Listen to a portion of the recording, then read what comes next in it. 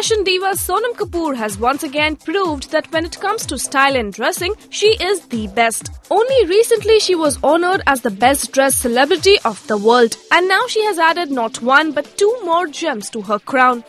The lady has been sent an invite by French designer Jean Paul Gaultier for his show in Paris. Also, Lebanese designer Elie Saab has dropped her an invitation for his show and an exclusive dinner at his residence. Well, this is not her first time with the French designer.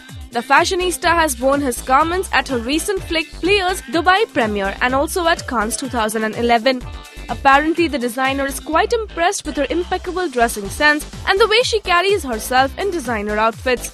Seems like this style goddess is very much looking forward to her Paris trip as she recently tweeted that she is already busy packing her bags for the trip.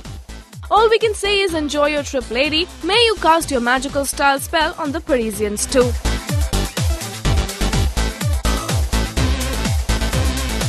This is Kritika Karat for Rajshri.com.